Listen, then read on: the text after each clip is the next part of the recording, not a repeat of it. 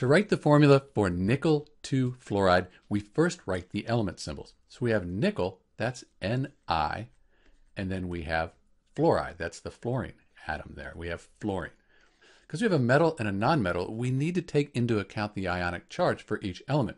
Nickel 2 fluoride, that's a neutral compound. There's no plus or minus. It doesn't say ion after. Since it's neutral, all the charge is going to add up to zero. We have a little bit of help. Nickel, it's a transition metal, and the Roman numeral 2, that means its ionic charge is 2 plus. Fluorine, that's in group 17, sometimes called 7a on the periodic table. It's a halogen.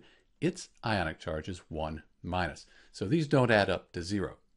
If we had two of these fluorine atoms, 2 times 1 minus, that would give us 2 minus. So 2 minus and 2 plus, that would add up to 0.